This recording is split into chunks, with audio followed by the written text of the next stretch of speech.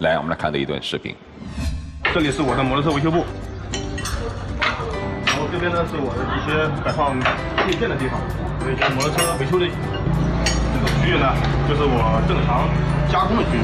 我正常做东西的时候会有切割和焊接，会在这个区域进行加工。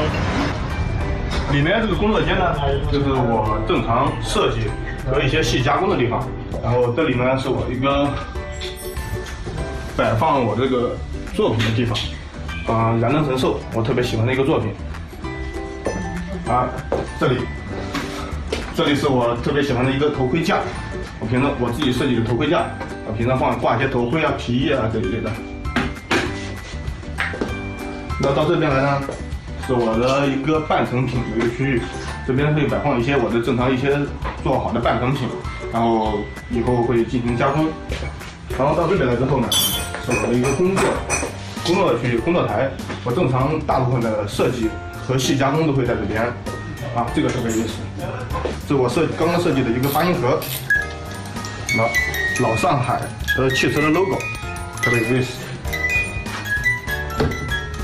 然后呢，上面还有一些我的一些作品和半成品。啊，这个就特别有意思了，九九年的电动自行车我收藏了。然后到这边，嗯，这个阜阳路。就是我老家是安徽阜阳的，呃，走到哪里都不要忘记我们老家是哪里的。好，谢谢大家。就我为什么把它推荐上来呢？其实它最最核心的一个词叫环保。所有这些在我们眼里都是垃圾，在一个破破烂烂的地方，然后呢能出现这样一个巧手的工匠，我觉得特别值得给各位企业家推荐。垃圾，环保，再加上。那个人满脸的络腮胡子，是，以及最后他上面一个富阳路，永远不要忘记家乡。他有一种让人感觉流浪。啊，他好像是走到哪儿捡到哪儿，捡到哪儿做到哪儿，但始终不忘记自己家乡在哪里。一切都在路上，其实我们也都在路上，只是他更形式化一些。对，掌声有请乌鸡斯。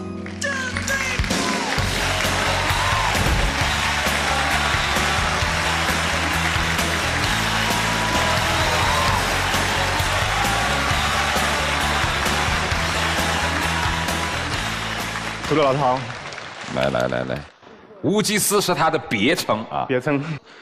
为什么叫这个？是油污的机械师的哦，油污的机械师傅。也本身我也姓吴，叫吴技师，也是也是。那你的原名叫什么？吴阳德。吴阳德，对，安徽人。安徽人。阜阳路。对，你是阜阳的呀？安徽阜阳颍上。对。我们刚才说你身上有一种流浪的感觉，你是曾经有过流浪的历史吗？有过啊，真有过啊！对，我是呃两千年来到上海，来上海的时候我只有十三岁，那个时候到上海也没有人要，然后就只能捡垃圾。那个时候捡了一年多垃圾，对，是这样。苦吗？苦啊，两年多没吃过肉，天天吃面条啊。我那时候租六十块钱租了一间房，租了一间房子是在河边，下雨天有十几处漏水，然后我们就会在在黄梁上面系上塑料袋，然后水滴在塑料袋里面。其实我现在还还是喜欢捡垃圾，嗯，我很多东西都是我捡来的。啊，觉得有有质感的东西，能利用的东西，嗯，那我捡回来是把它拯救回来，而不是说它会被遗弃掉。啊。对对，反正人生啊，其实就是丢丢捡捡的过程，但捡什么不能捡罪恶，丢什么不能丢良心。我在上海现在有一家电电动车、摩托车维修维修店，干嘛的？改车的？修车？修电动车、摩托车？哦，生意还好吗？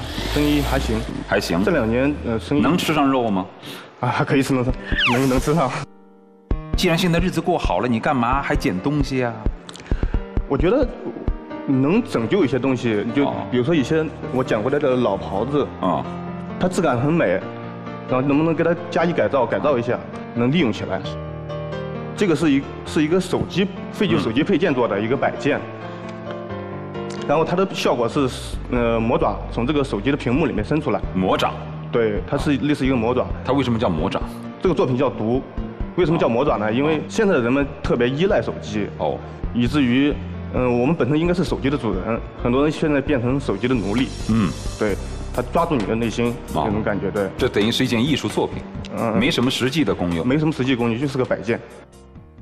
嗯，下个这个啊，这个它的名字叫手裤子啊。这个是之前呃有我们有一个那个摩托车车友因为交通事故走掉了，然后我就做了这个守护者，然后进行义卖，呃，卖来的钱然后捐给了他的家人。你这是再做了一个是吧？对，这是守护者四号，前面三个都已经义卖掉了。圈里全部都在募捐啊！然后我听到这个事情之后，我说我我也我也应该做点什么事情。嗯，对。这个材料是拿什么做的？嗯，摩托车的离合器，这是离合片啊。然后我们这是离合器的底座啊。然后做做的，它是呈现的造型是一个卡通形象的骑士戴着安全头盔啊。哎，你你手上这个镯子上面还有“非你莫属”四个字。对，这是我昨天刻的，我昨天来的时候做的。昨天刻的是？对。涂磊老师，他那个鞋子也有有来头。哦，这鞋子。自己喷的是吧？对，鞋子是我用了大概三五年了，这个当时，然后这旁边全部用裂掉了，开裂，开裂，开裂了，对，然后脚趾头都能露出来了那种感觉。啊，那你怎么了？然后我就捡了块那个包坐垫的那个皮塞进去，然后用用这种油漆浇在上面，然后还可以再用。你到底存了多少钱？存了多少钱？不是你这太抠了，你这日子过得太节俭了，你这啊，一双鞋可以穿一辈子，你看。我我我是有时候比较念旧的感觉。你是哪里人？河南。你来北京多久？呃，来北京十多年了。你现在住哪儿？我在清华美院租，就是租了一间房子。结婚了吗？结婚了。在清华研修班要交钱的吗？呃，交。多少钱？呃，五万。你这些钱哪来的？呃，可以说把家里边这个钱全部拿。其实看了他之后，我心里蛮难受的，是因为很多人陷在自己的艺术小圈子里面，只完善了小我，而忽略了你还有更多的身份、更多的分身、更多的责任需要你去承担。那么，其实你可以在业余时间画画，为什么你两年过去两年你一一天没工作？呃，不是，这是这是两年，我一边学习，又一边参加这个中国中国美协举办这个展览嘛，收入有十多万。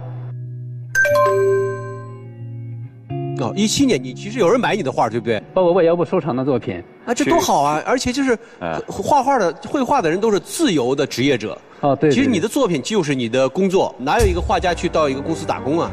但是我感觉啊，我比较喜欢这个创作，我不太适合就是推销自己吧。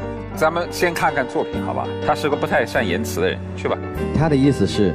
我能画，但我卖不出去，就我自己不会卖。他不会包装本身我觉得画画就不应该为了卖啊！就本身艺术这件事儿，你想做它，你就得做好饿肚子的准备。你如果没做好这准备，你别干。所以我特别想说，其实很多艺术家，我们认识的艺术家，我们我们知道那些名家是非常自私的。他们作为一个家家庭人，他们是非常自私的。但可能就这些人，他们才能够创造出那些跟别人不一样的艺术。饿死了就没办法画了。对呀。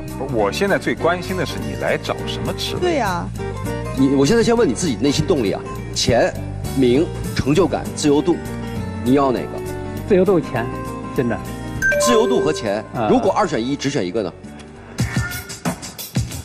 你现在现在的压，现在就是啊，压力是钱吗？钱。我只是想问你们这些懂行的人，他的这个画，如果不进入任何公司，就自个儿卖，做画廊，能卖得出去？卖不出去。卖不出去。也就是他这样做，他无法生存。对。你也听见了，他们说现在靠你的画想生存是基本不可能的，你认同吗？你做过尝试吗？没有没有没有没有。对，那也就是说你这个不能转现呃变现嘛，对吧？我我不觉得他画卖不出去啊，我觉得他的你的画，我觉得是能卖得出去的。你能卖得出去吗，朱涛？首先的前提是你的画要卖多少钱，这个很重要。它如果是以装饰画去卖的话，以一张画的可能是一千块、两千块。你到深圳那些呃版画很发达的地方，不不一定你卖不出去。但是如果你要变成一个艺术品，那就可能够呛。好，可以卖出去。以这样的方式生活，你愿意吗？这样愿意，但是要画能卖出去，我还是。你想卖多少钱？你比如说刚才那幅画，七万。七万，对对对，我就问你那幅画一万，你卖不卖？不卖，也卖。那你就按照那种方式去生活。还没完，还没完。现场的他出一万，现场的有人们买。你是说你们吗？对对呀，我们谁谁愿意买？出一万愿意买。我觉得大家，尤其是我觉得在座的十五位 boss，没有一个人有资格去评判他的艺术价值的标准。对。所以蛋总，我觉得你不能说他，你不能说就你愿不愿意出一万来买不买画来判定他的这个画到底价值多少钱？没有没有没有不不是，我们只是希望他找到他想要的生活方式，卖多少钱能卖得越高越好。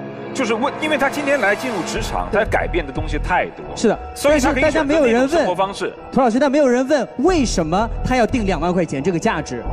我没有那样的义务去挖掘这个。那大家都不能有义务去评判他家的价值。我没有评判，我们只是告诉他，如果那种生活更好，今天的面试就到此结束，明不明白？我不觉得。那为什么很多的舞台？那你有提供这样的职位吗？我没有这样的职位，但我愿意买他的画。你可以买他的话，那台下你可以买啊。不是，可是为什么那？有有一些可能不着边的选手也有时间面试，为什么就不能有他的时间？我觉得是浪费时间呢。不，你没有这样的职位。我觉得有很多这样的民间艺术家，我觉得就是大家有，哪怕他经过非你莫属，对他个人有一些帮助，我觉得也是有价值的。所有的 boss 们给到一个很好的点，就是我觉得很温暖的，就在想方设法帮他找到一条出路，找到出路，让他养家糊口。这是说实话，我不偏不倚的评价，就是所有的企业家，包括涂老师，想方设法的在帮助刘涛来谋一份。这个收益，很多人觉得艺术是无价的，但是艺术要为我们生存负责，艺术也等于价值。你还真别跟我谈什么艺术无价的。如果说艺术是无价的，那想想他们娘仨在那过什么日子？你跟我谈什么艺术是无价的？我父亲当年也是画这种画，他卖不出去。你知道他后来干什么吗？他后来就是那种檀木扇子，檀木的那个香檀香扇，嗯，然后呢就在上面画熊猫，卖五毛钱一把。